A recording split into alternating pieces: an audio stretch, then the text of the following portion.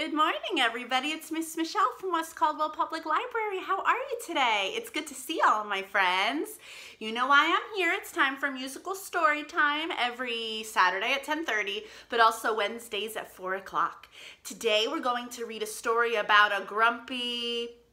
I can't tell you yet. You're going to have to wait. The suspense. Can't tell you yet. But it's a cool book. A grumpy somebody. Show me your grumpy face. Are you grumpy today? It's still kind of early in the morning. Let me see them. Ooh. All right, well, it's time to smile because we're going to read a story and we're going to sing some songs and then I have a little fun activity for you after. So hopefully that'll get everybody smiling and happy and awake. So the first thing we always do in my story time is we warm up. We're gonna keep it quick today. We're gonna roll our shoulders like we did back on Wednesday. Can we roll them five times? Can you count with me? Let's roll forward. Ready? One, two, it's almost like rolling boat. Three, four, five. How about rowing, rowing, yeah, rowing, rowing backwards. Can you roll those shoulders backwards eight times? Whoa, that's a lot of counting. Here we go. One, two, three, four, five, six, seven, Eight, very good. Now, one of my favorites that we haven't done in a couple weeks is we're going to clench every single muscle in our whole body. So not just our shoulders, but I like to use my shoulders as an example. You can see they're clenched. That means that I'm holding them, holding them, holding them. We're gonna do that. We're gonna count to 10 in our heads and no, no cheating, no counting very fast, counting slow like normal and then we will release our whole body. So we're gonna tense every single muscle. Can we do it? Count to 10 in your head. Ready, go. I wanna see some silly faces. I'm checking, I'm opening one eye. I'm counting, I'm counting, I'm counting. And relax. Oh, boy, that feels good, doesn't it? Wow, feels very relaxed. So we're gonna sit up straight our backs are to be straight and our shoulders are to be behind our body slightly. Good. We don't want to look like a robot, but we want to sit up nice and straight and we're going to breathe from our belly. And that's not an easy concept and I could talk to you about it another time, but we're going to try to breathe from our belly. We're going to breathe in nice and quiet without raising our shoulders. And when we breathe out, we're going to breathe out on S. It's going to keep us calm, like that feeling after clenching your muscles and then relaxing. Let's try it. We're to sound like snakes a little bit. Let's breathe in.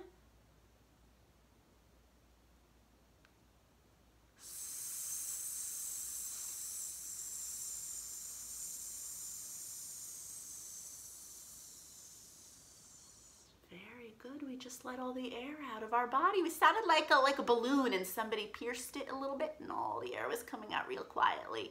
Okay, my friends, instead of warming up our vocals like crazy, we're gonna sing our listening song. We do that anyway, and I think it's a good warm up for the morning. So, eyes are, ears are, lips are, hands are, feet are really, you should really listen, listen, very good. I always say this, but if somebody had never watched our videos before, they think we're a little crazy. Those were not full sentences. Let's do it again. I'm going to say all the words in case there's somebody new today, okay? Eyes are watching, ears are listening, lips are zipped, hands are still, feet are really quiet. You should really try it. Listen well, listen well. Very good. Let me see your listening ears. Make sure you have them on today. Very good. So we are going to sing the listening song now with the piano. We're going to skip singing it without because you already know this. Let's sing it. Think while you're singing, oh, these are the things I do when I'm listening, when I'm a good listener. We're not just listening with our ears. Isn't that silly? We're actually listening with our whole body. Sounds so weird. Let's try it. We start with our eyes. And our note is, okay, so eyes, nice and loud. Remember to sit up straight. Think about breathing from your belly. It's a lot to think about, but do your best. Ready? Shoulders back. Nice and loud, but no screaming. And do the moves for me. Eyes are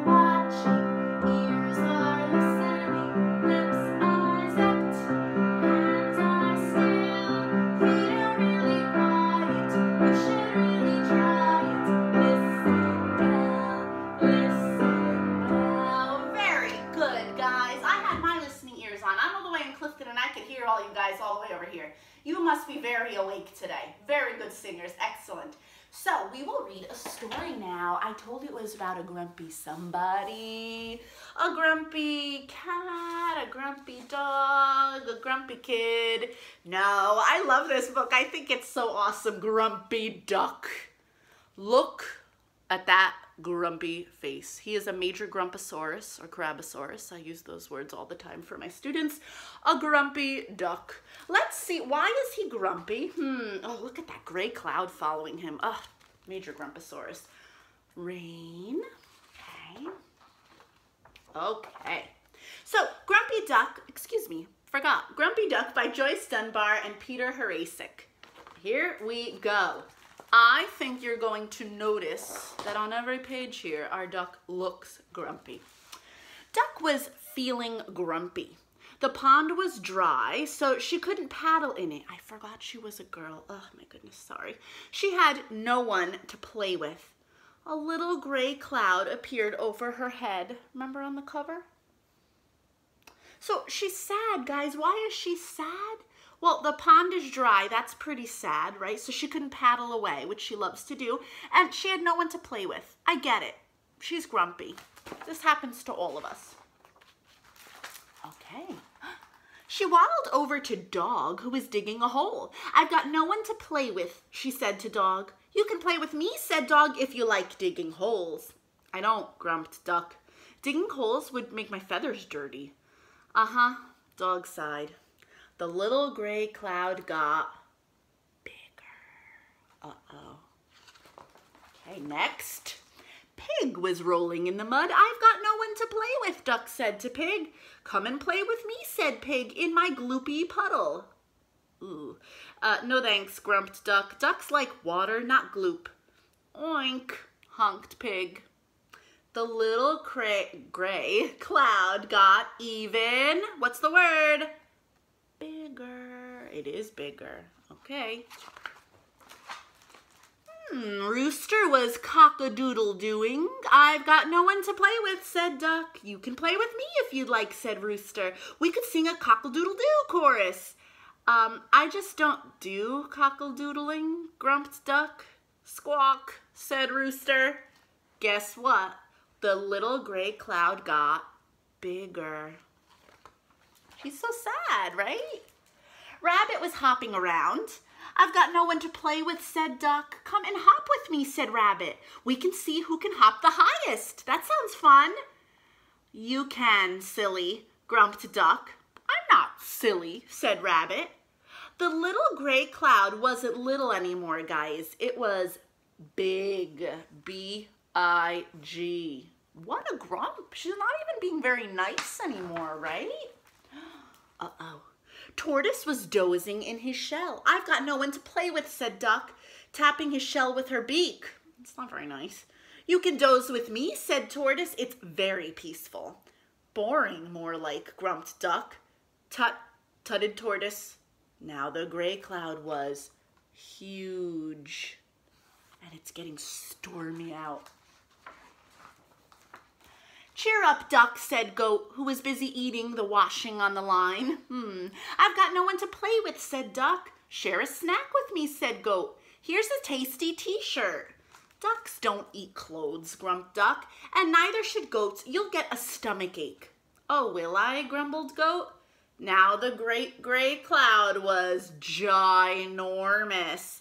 It was a great gray blob hanging low overhead, so now all the animals were grumpy. Because this grumpy duck is not being very nice, and that might put everyone in a bad mood, right? Look at that gray cloud, how big it got. Not very nice. Then something strange began to happen. The great gray cloud turned blue, what? And purple, and yellow, until it was black. Oh my goodness. That looks very scary. Sitting beneath this ginormous black cloud were a dog who stopped wagging his tail because he's sad, a pig whose ears were droopy, he's mad, a rooster who was no longer cockle-doodle-doing, right? Because the duck was basically saying it wasn't cool. A rabbit who had lost his hop. Oh no. A tortoise who had decided to stay in his shell forever and ever, right? Why bother talking to anybody if they're going to be a crabosaurus? A goat who scowled at that big black cloud, and a duck who was still grumpy. Whose fault is it that everybody in this book is grumpy now? Grumpy duck. Hmm. Look at this cloud. What sort of cloud was it? Was it a gloom cloud or a mood cloud? Could it be, was it a grumpy duck cloud? Would it blot out the sun forever? Could it burst? Yes. Whoa. Suddenly there were splat, plop, plink, plitter, plat, dribble. What was coming from the cloud? Rain, you guys, very good. Millions of big, shiny, wet, splashy raindrops. They're kind of pretty. Who likes rain? Anybody? I kind of like rain. Duck spread her wings open. She splished and splashed and splashed. Remember why Grumpy Duck was grumpy at the beginning? Duck wasn't grumpy anymore. I'm waddling in the rain, quack, quack, she sang. That's what she wanted. She wanted a puddle, right? Oh my goodness. Look at everybody playing. Woof, woof, oink, oink, bleat, cockle-doodle-doo, hip-hop, quack, quack, slurp, slurp. There's a lot happening here. One by one, they all joined in. I'm plopping in the rain, oink, oink. I'm barking in the rain, woof, woof. I'm cockle-doodle-dooing in the rain. I'm hopping so high, hip-hop. I'm drinking up the rain, slurp, slurp. What a glorious feeling, bleated goat. We're happy again just waddling and paddling by the pond, they all sang in chorus. And where was that big black cloud? Do we remember? Gone in its place was a bright, shining rainbow. Look at that face. That is not a crab face anymore. The end. So, are we always, are we sometimes grumpy? Not always. I hope you're not always grumpy. Yes. And is it nice to be mean to everybody when we're grumpy? No.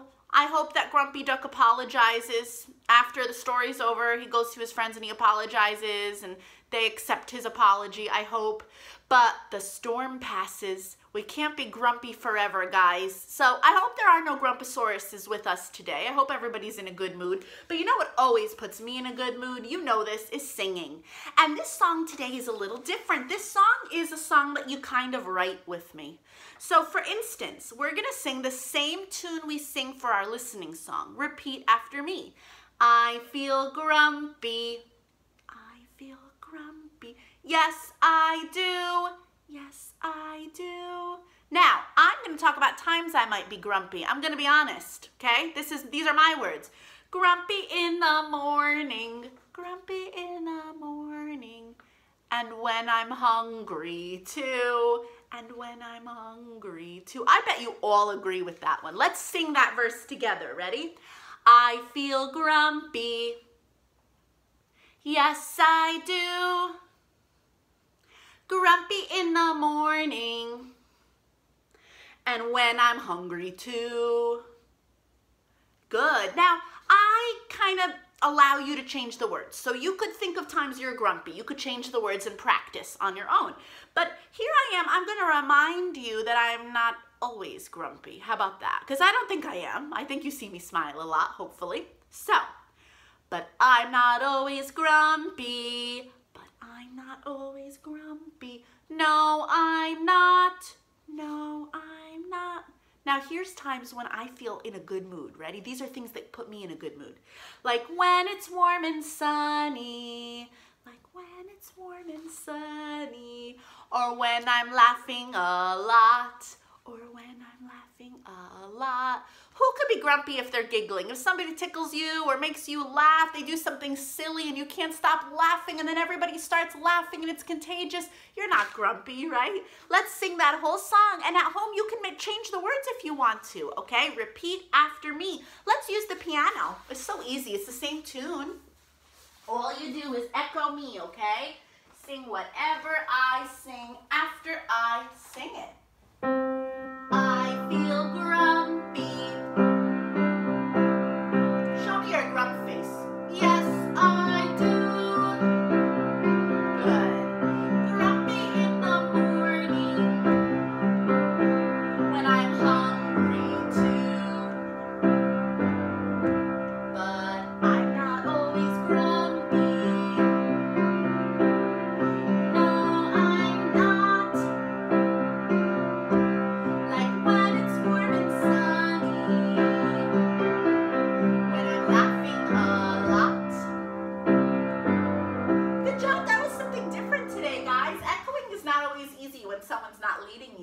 So the last thing we always do is a craft, and as you know, I post this video on YouTube and Facebook. On Facebook, in the comments section, you're gonna get a worksheet, and it's a connect the dots. They're so cool. You're gonna connect the dots by numbers. Remember when we counted our shoulder rolls? You're good counters. You're gonna connect the dots, dots with a pencil or a crayon, whatever you've got, once you print out that page, and then you can color it in. It might be a duck. Your duck doesn't have to be yellow or white. White's kind of boring. You could make your duck pink or purple if you want to. Share pictures of what you do if you'd like to, if you'd like to comment. I always love to see them. Some people send us messages. That's cool too. I'd love to see your creations, as always. So please participate in the craft if you can. And I will see you again next week. As you know, story times are always Wednesday at 4 and Saturdays at 10.30. Okay? Thank you for being excellent singers. I will see you next week. Very good work today. Bye.